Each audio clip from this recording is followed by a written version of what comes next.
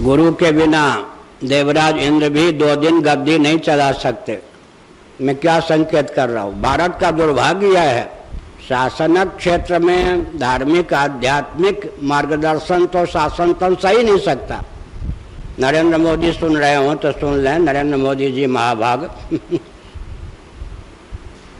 देवराज इंद्र की संपत्ति लूट करके देव, क्या देवगुरु बृहस्पति अंतर्धान हुए थे क्या? एक रुपया लेके गए। उनकी देवताओं की संपत्ति देवताओं के पास रहने दी। देवताओं की बुद्धि का जो बल था उनके पास रहने दिया। प्रज्ञा शक्ति, प्राण शक्ति, समृद्धि। देवराज इंद्र का पद छीन करके गए थे, कोई बगावत करके गए थे क्या? अस्त्र शस्त्र का बल जो देवताओं का था अस्त्र शस्त्र का अपहरण कर लिया था क्या? कुछ भी तो नहीं लिया ना। क्या ले लिया? मार्गदर्शन देना बंद कर दिया। अंतर्धान, इतने तो हुआ ना। वही देवराज इंद्र, वही वरुण, वही कुबेर, क्या? वही अमराज वही अग्नि, वही वायु, सब कुछ वही वही समृद्धि, वही अस्त्र, वही शस्त्र। लेकिन शुक्राचार्य के नेतृत्व में दैत्य इतने बलिष्ठ हो गए कि इनको गाजर मूली की तरह काटना, इनकी संपत्ति का अपहरण करना शुरू कर दिया। आँसू पोछने वाला कोई नहीं रहा। गुरु का महत्व एक विचित्र बात है, भारत तो देवता और दैत्य इनसे गिरा हुआ गुरु का महत्व तो दैत्य लोग जानते ही नहीं, शुक्राचार्य के बिना दो दिन सुरक्षित रह सकते, विरोचन इत्यादि। लेकिन देवता तो देवता ठहरे, पश्चाताप हुआ। देव गुरु के न मिलने पर कहा चले गए? ब्रह्मा जी के पास। ये गुरु का फिर आश्रय ले लिया। लेकिन आखिर ब्रह्मा जी भी वो मार्ग नहीं दिखा सके। जो बृहस्पति के मार्गदर्शन में सुरक्षित रहते। ब्रह्मा जी ने सुझाव दिया। ब्रह्मा जी देवताओं के गुरु का पद थोड़े स्वीकार करते। समझ गए ना? इसका मतलब अगर अपने गुरु को छोड़ के तुम ब्रह्मा के पास भी चले जाओ वो ब्रह्मा जी के द्वारा जो मार्ग दिखाया जाएगा, उससे भी तुम्हारा बंटाधार हो जाएगा। ब्रह्मा जी ने कहा, विश्वरूप को गुरु बना लो, लेकिन उनके ननिहाल के प्रति माता उनकी जो है, असुर कुल की है, ननिहाल के प्रति अपनत्व है। इस त्रुटि को समझ करके तुम बना लो। उस पर ध्यान दोगे तो खतरा है। अंत में, ब्रह्मा जी को भी आप मार्गदर्शक बना लीजिए। साक्षात भगवान को भी प्रकट कर लीजिए। फिर भी वो जो गुरु का अपने तिरस्कार किया, उसके अपराध से झटपट मुक्त नहीं हो सकेंगे।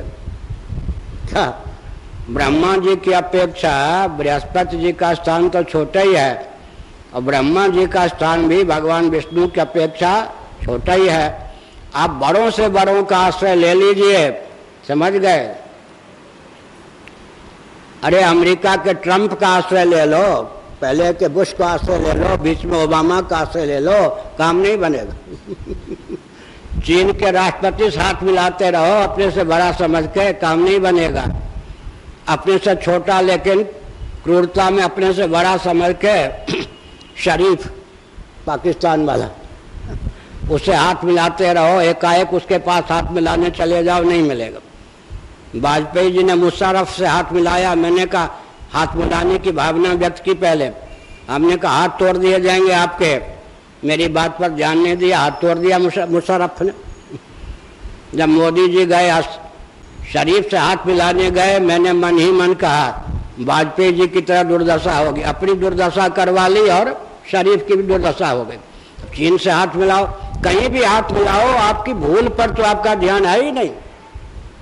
भाजपाइयों का भी ध्यान, उनकी भूल पर तो है ही नहीं। तुम्हारे देश का मार्गदर्शक कोई आध्यात्मिक मनुष्य तो है ही नहीं। और तुम में वो क्षमता नहीं है कि विकास की परिभाषा भी कर सको, अर्थ की परिभाषा भी जान सको। तो पूरा भारत किसका मारा हुआ है? इनको स्वप्न में भी आध्यात्मिक मार्गदर्शन सुलभ ना हो। ये कूटनीति अंग्रेज़ों की है। उस अंग्रेज़ों की कूटनीति के कारण तुम रूस के राष्ट्रपति से हाथ मिला लो, अमेरिका के राष्ट्रपति से हाथ मिला लो और पाकिस्तान के प्रधानमंत्री से हाथ मिला लो, चीन के राष्ट्रपति से हाथ मिलाते रहो, बांग्लादेश के प्रधानमंत्री से हाथ मिलाते रहो, कहीं कुछ आँसू कोई नहीं पहुंचेगा देश की दुर्गति होती जाएगी। इस प्रसंग से वर्तमान में यह शिक्षा लेने की आवश्यकता है। लीजिए, देवराज इंद्र कोई अनपढ़ होते हैं क्या? गुरुकुल में निष्णात होते हैं? शतक्रतु होते हैं? दिव्यदर्शी होते हैं?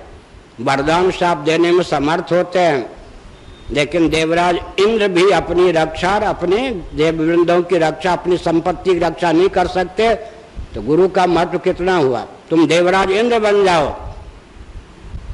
क्या? देवराज इंद्र बन जाओ। देवराज इंद्र के समान बुद्धि किस प्रधानमंत्री में? देवराज इंद्र के समान पराक्रम किस प्रधानमंत्री में है? किस राष्ट्राध्यक्ष में है? फिर भी तुम मारे जाओगे, रोओगे। जितनी, जितना प्रयास करोगे, विकास का उसके गर्व से विनाश निकलेगा। मूल भूल को सुधारने की क्षमता है ही नहीं, समझने की क्षमता नहीं है। अब थोड़ा विचार कीजिए। देव गुरु बृहस्पति तो शरीर में आज भी हैं तो जब वो अंतरहित हो गए, छिप गए तो भी देवगुरु बृहस्पति कहीं थे या नहीं थे? देवगुरु बृहस्पति थे, उनका मार्गदर्शन सुलभ नहीं था। तो स्वतंत्र भारत में भी हम लोग हैं या नहीं जीवित? लेकिन देश को, उड़ीसा सरकार से लेकर केंद्र सरकार को, पूरे विश्व को वैदिक मनीषी का मार्गदर्शन सही नहीं है।